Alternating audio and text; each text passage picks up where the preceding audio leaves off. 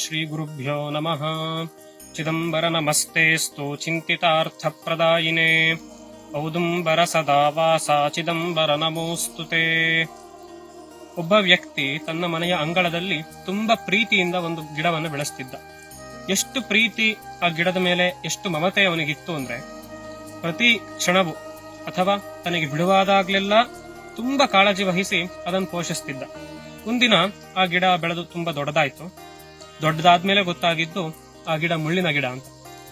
ಮನೆಯವರು, ಗುರು ಹಿರಿಯರು ಎಲ್ಲ ಹೇಳಿದ್ರು, ಮುಳ್ಳಿನ ಗಿಡ ಓಡಾಡ್ತಾ ಚುಚ್ಚತ್ತದು, ತೆಗೆದು ಬಿಡು ಅಂತ.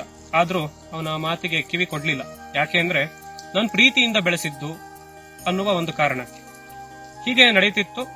ಅವನು ಮನೆಯಿಂದ ಪ್ರತಿನಿತ್ಯ ಓಡಾಡಬೇಕಾದ್ರೆಲ್ಲ ಆ ಗಿಡದ ಮುಳ್ಳು ಉದುರಿ ಅವನು ಚುಚ್ಚುತ್ತಾ ಇತ್ತು. ಚುಚ್ಚುವುದರಿಂದ ಅವನಿಗೆ ರಕ್ತವೂ ಬರ್ತಿತ್ತು, ನೋವೂ ಆಗ್ತಿತ್ತು. ಆದ್ರೂ ಅವನು ಆ ಗಿಡವನ್ನು ತೆಗಿಲಿಲ್ಲ. ಕಾರಣ ಏನಪ್ಪಾ ಅಂದ್ರೆ ನಾನು ನೆಟ್ಟ ಗಿಡ, ನನ್ನ ಪ್ರೀತಿಯ ಗಿಡ ಎನ್ನುವುದು. ಇದನ್ನೇ ವ್ಯಾಮೋಹ ಅಥವಾ ಮೋಹ ಅಂತ ಕರಿತೀವಿ. ಈ ವ್ಯಾಮೋಹ ಅನ್ನೋದು ಸಾಧನೆಯ ಹಾದಿಗೆ ಬಹಳ ದೊಡ್ಡ ಮುಳ್ಳು. ಅದೊಂದು ದೊಡ್ಡ ಕುರುಡುತನ. ಅದರಿಂದ ನಮಗೆ ನೋವಾಗ್ತಿದ್ರು, ಅದರಿಂದ ನಮಗೆ ಅಹಿತವೇ ಆಗ್ತಿದ್ರು, ಅದನ್ನ ನಾವು ಬಿಡೋದಿಲ್ಲ. ಉದಾಹರಣೆಗೆ, ಕಂಬವನ್ನು ನಾವು ತಬ್ಬಿ ಹಿಡಿದುಕೊಂಡು ಕಂಬ ನನ್ನನ್ನು ಬಿಡುತ್ತಿಲ್ಲ ಎಂದ ಹಾಗೆ ಈ ವ್ಯಾಮೋಹ. ಈ ಮಾನವ ಜನ್ಮ ತುಂಬಾ ದೊಡ್ಡದು.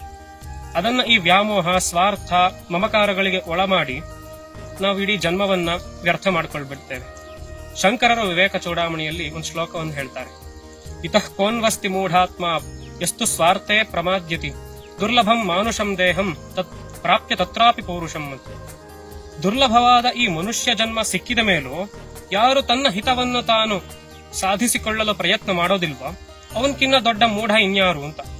ಪ್ರಾಣಿ ಪಕ್ಷಿಗಳಿಗೆ ಇನ್ನಿತರ ಕೀಟಗಳಿಗೆ ಹೋಲಿಸಿದರೆ ಈ ಮನುಷ್ಯ ಜನ್ಮ ಹಿತವನ್ನು ಸಾಧಿಸಲಿಕ್ಕೆ ಅಥವಾ ಭಗವಂತನ ಸಾಯುಜ್ಯವನ್ನು ಪಡೆಯಲಿಕ್ಕೆ ಸಕಲ ರೀತಿಯೂ ಸಹಕಾರಿಯಾಗುವ ಈ, ಸಹಕಾರಿಯಾಗುವ ಜನ್ಮ.